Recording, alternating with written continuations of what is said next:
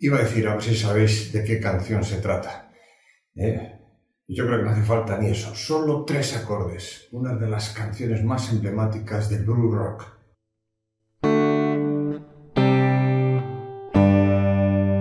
Tres acordes. Vamos allá.